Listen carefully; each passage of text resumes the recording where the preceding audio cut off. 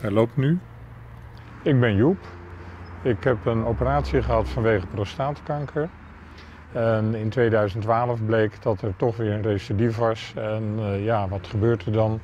Dan krijg je te horen dat er in principe geen behandelingen meer zijn. Ik ben Bert. Ik ben prostaatkankerpatiënt. En uh, ja. En daarmee heb je eigenlijk geen toekomst meer. En uh, moet je maar zien uh, hoe je nog wat plezier weet te vinden. Dan denk je dat het einde onderweg is. Maar ja, ik leef nog steeds. Kom dan. Och, och, och, och. Stil. Dit zijn patiënten bij wie de prostaatkanker is uh, teruggekomen en de vraag van de patiënt was waar zit mijn kanker? Nou, met de nieuwe MRI kunnen we dat heel goed zichtbaar maken. Ik ben Jelle Barens, ik ben radioloog van het Radboud UMC.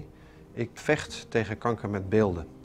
En doordat we de kleine uitzaaiingen met deze techniek loopzuiver in beeld kunnen brengen, kunnen we een gerichte therapie geven en dat leidt tot minder bijwerkingen en een grotere kans op genezing tegen lagere kosten. Nou, vroeger moest je wachten tot de klieren heel groot waren, tot een klier 1 centimeter was. Nou, dan is de klier al zo groot dat een gerichte behandeling minder kans van slagen heeft. Stel je voor, deze sterrenhemel, de sterren zijn de lymfeklieren in het kleine bekken. En een ervan is afwijkend, maar we weten niet welke het is. Een chirurg of een radiotherapeut zal alle sterren moeten weghalen om de patiënt adequaat te behandelen. Met het contrastmiddel worden alle sterren die normaal zijn zwart en alleen de afwijkende blijft over. Nou, dat is heel bijzonder, omdat je ineens denkt, ik heb toch perspectief. Dat is geweldig. Dan kun je er ook vrede mee hebben van, joh, als ik dood ga, oké, maar ik weet dat alle goede methodes en mogelijkheden die zijn, zijn geprobeerd. Dit is het, ijzerwater. Er zitten hele kleine deeltjes ijzer in. Dit ijzer komt in het bloed, wordt opgevreten door de witte bloedcellen. En de witte bloedcellen die gaan na 24 uur naar normale klieren, lymfklieren. Als er een klier zit met een uitzaaiing, is er geen plek voor die witte bloedcellen, dus dan zitten er geen witte bloedcellen. En ijzer op de MRI is zwart. Ik laat hier een, een beeld zien van uh, een onderbuik van de patiënt. We zien de heupen.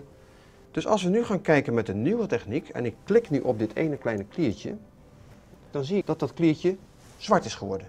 Dat wil zeggen, hij is niet afwijkend. Gaan we naar een ander kliertje, dat zit hier, dan zie je dat het kliertje wit blijft.